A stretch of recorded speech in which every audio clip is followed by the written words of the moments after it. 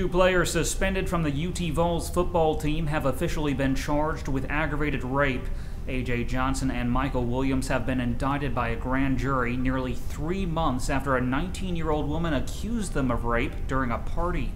Williams turned himself in Thursday and was released on bail.